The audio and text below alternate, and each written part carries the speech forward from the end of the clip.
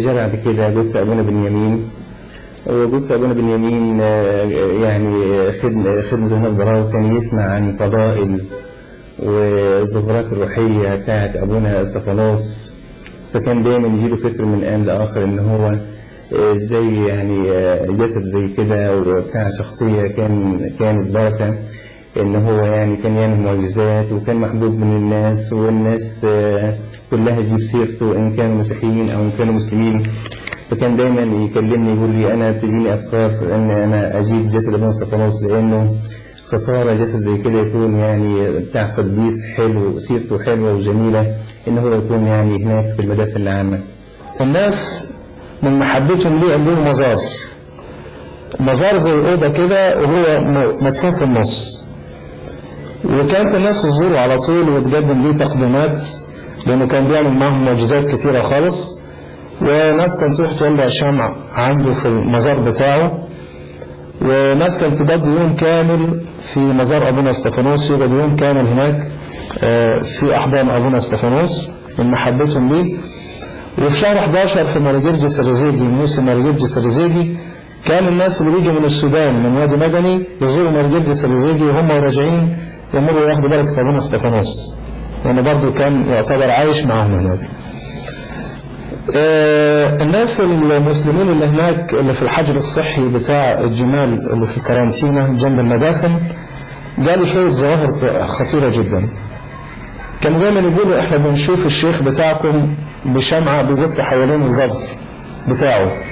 الشيخ بتاعكم اللي هو أبونا استفانوس ومرة تانية يقولوا في ظاهرة بخور بتملى المكان كله لدرجة إن هي بتطلع بره الجبانة وهم يشموها. وآخر مرة قالوا إن إحنا كنا بنسمع الليلة دي ما نمناش من حلقات الذكر اللي كانت موجودة في الجبانة اللي هو الترتيب والتسبيح والحاجات اللي زي كده. في ناس شافوها طبعا بالليل في نور إضاءة في الجبانة هنا. وبعد كده كان يعني في ناس بتعدي بيشموا ريحة بخور. طبعا بيقولوا في حد عندكم هنا أنتوا قاعد يعني عايش ولا حاجة زي كده؟ طبعا إحنا عارفين عن نفسنا إن طبعا آه، روح كويسة نفس كويسة المتنيحة هنا يعني. فقلنا يعني إذا كان الناس بنتمتع بالظواهر دي وإحنا قاعدين هنا والأولى إنه كنيسته وشعبه هنا يتمتع بيه. والفكرة دي راودتنا كتير خالص وبعدين لما الفكرة ألحت علينا خدنا رأي أبونا إبراهيم. أنا كنت أستبعد الموضوع ده ويعني حاسس إن هو موضوع كبير وصعب وشاق لكن هو كان يغيب سنة ويفتكر الموضوع ده يغيب سنتين ويفتكر الموضوع ده. وفي الآخر قلت له أنا شوف الموضوع ده وربنا كده يعني شوف هو أنا خلاص أنا هكلم سيدنا لو وافق سيدنا على الموضوع ده سيدنا الأنبهدرة أنا هعتبر الموضوع ده يعني إشارة من السنة ونبدأ في الموضوع ده وليكن ما يكن جم بعد فترة وقالوا لا يليق إن هو يفضل في هذا المكان العام وإحنا عاوزين ننقله للكنيسة وكان فكر صالح من الله ومشينا في الإجراءات الرسمية.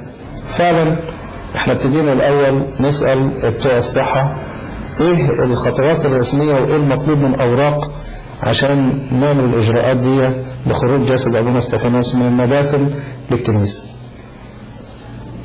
فابتدينا بشهادة الوفاة طلعناها في يومين وبعدين شهادة إدارية معاينة الصحة طلب لوكيل النيابة.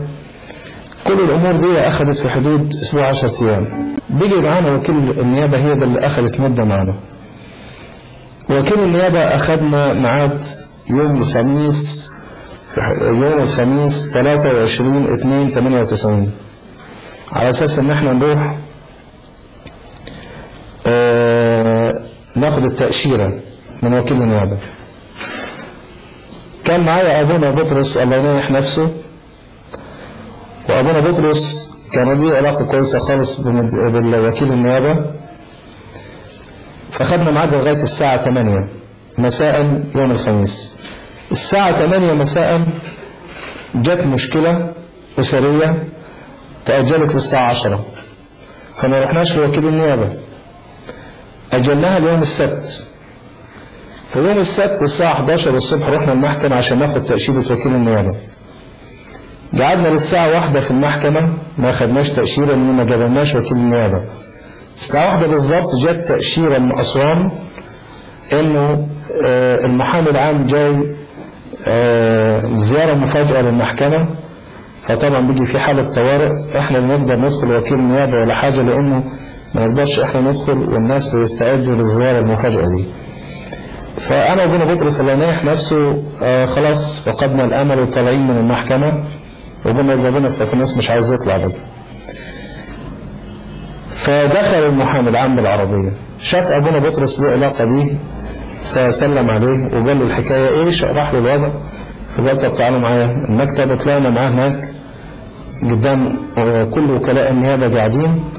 فقعد كده المحامي العام وجرى الطلب اللي إحنا كاتبينه ومضى على الطلب بسرعة بالموافقة وختمه بإيده بختم النسر وقال كلمة عجيبة جدا.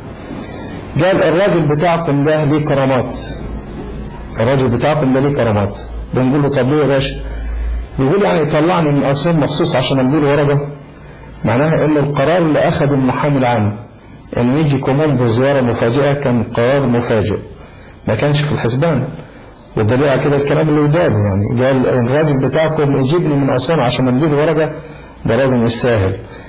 فاحنا خدنا الكلام ومشينا وخدنا الموافقة نشكر ربنا وبلغنا سيدنا إن إحنا خلاص خدنا موافقة النيابة وكده. بس كل ده كان المفروض تحت يعني إشراف الصحة والأمن يعني استخراج الجسد تحت إشراف الصحة والأمن. وتمت الإجراءات والتصاريح وال- والأوراق تمت تماما تماما في حدود آه، ما تتعداش 15 يوم. وكان احتفال عظيم جدا جدا ده موال تاني موضوع تاني قصة انتقال الجسد من المدافن العامة إلى المزار بتاعه الحالي الموجود في الناحية البحرية لهيكل رئيس ملاك خيل